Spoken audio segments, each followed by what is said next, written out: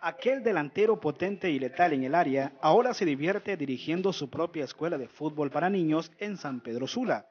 Sus goles y alegrías no son más que recuerdos. Esta es la nueva vida de Miguel El Gallo Mariano, quien se retiró del fútbol hace seis años. Tenía 33 y ahora ya está por cumplir los 40. Lo encontramos justamente en su faena diaria. La escuela lleva su propio nombre. Además, da clase de educación física en un colegio privado de la ciudad. Su mano derecha es otro exfutbolista, Calucha Fernández. El árbitro físico, yo creo que la lucha es importante, no hace por vencido ante nadie.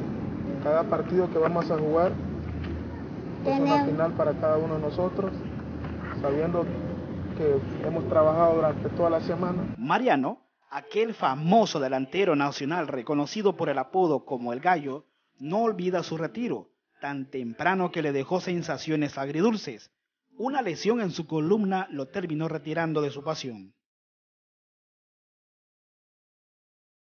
En ese momento estaba jugando con Heredia y fuimos a jugar contra los Cremas.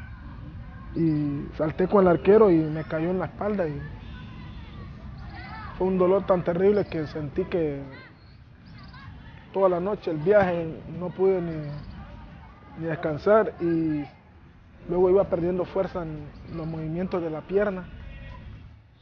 Eh, mi pierna de la pantorrilla para abajo dormido de la, la rodilla para arriba, se me iba adelgazando esa parte y, fue terrible, ¿no? Yo creo que ahí donde dicen que a veces uno se da cuenta del dolor y todo y, y de repente hasta uno llora estando solo.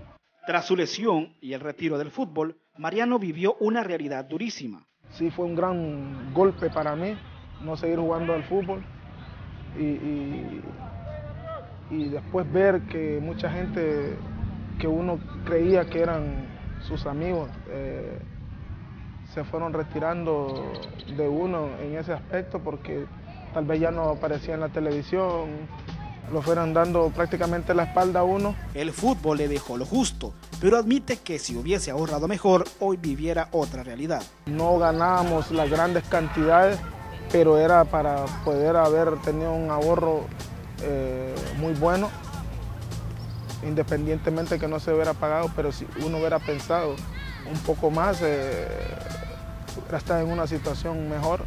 Gracias a Dios uno se logra recuperar. De esos amigos que le dieron la espalda cuando lo necesitaban, sirvió para darle una lección. Salió adelante y se aventuró en los negocios personales. Creí que tenía muchas amistades, pero a medida que fueron pasándose los días, yo vi que mucha gente también se fueron retirando. Y ahí donde uno aprende a poder eh, eh, valorar la familia. En medio de su experiencia, no solo está lo de su lesión. Cuando se recuperaba, le pasó este otro caso al cual logró también salir adelante gracias a buenos amigos, samaritanos que le tendieron la mano me lesiono y un amigo me destruye el carro, imagínate.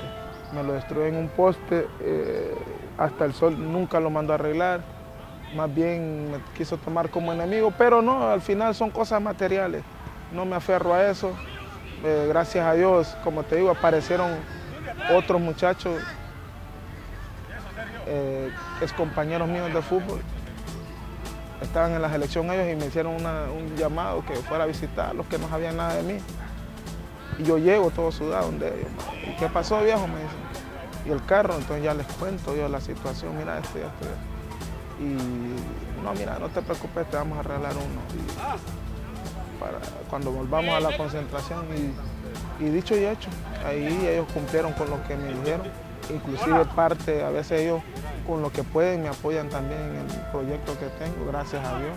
Y tenemos una gran amistad con ellos, no por lo que ellos son ahora, es como ellos me dicen a mí, viejo, nosotros te apoyamos a vos o, no nos olvidamos de vos porque vos en tu debido momento fueras eh, el jefe, por decir, en victoria y, y estabas metiendo goles y vos eras que respondía por nosotros, sin saber lo que nosotros íbamos a hacer este día. Y por eso te damos este regalo. Qué bien, Miguel. ¿No puede dar nombre de ellos, de esos buenos samaritanos? Porque cuesta mucho. No, la verdad no. La mayoría de la gente sabe que, por ejemplo, Maynor Figueroa y Walter Martínez en ese momento fueron los, muchachos que, me hicieron el regalo del, del automóvil. Vive muy agradecido por ese gesto. A la vez aclaró lo siguiente. Como te digo, uno se siente tan halagado que a veces ni palabras, pues. O sea, las lágrimas se te ruedan cuando encontrás gente así, pues más que todo. Y pues tengo mucho que agradecerle a él por todos sus consejos que él me dio en ese momento. Y hoy día pues estamos aquí compartiendo con él y recordando pues todo lo que él de repente me decía y me enseñó mientras estábamos en el Victoria. Agradecía de repente por algún consejo, por algún gesto que hiciste por ellos y te pagan de esa manera, como te vuelvo a repetir, Carnona, no, no lo hice con esa intención, sino que es un don que yo, que de repente Dios me dio a mí de, estar ayudando a la gente, inclusive aquí en esta escuela. Vos ves muchos chicos aquí no tienen la capacidad y aquí están, pues, aquí están y, no los voy a correr porque el día que los corra eh, estoy preparando un delincuente más en el país. Ahora todo marcha bien para el gallo, que sigue cantando y divirtiéndose a su manera. Eso sí, en su interior hay una espinita muy clavada. Pude haber dado un poco más y, las espinitas que tengo clavado, que en mi mejor momento en el fútbol salvadoreño me marginaron de la selección hondureña. Pudiendo haberme yo nacionalizado salvadoreño porque me pedían ahí, pero no lo hice porque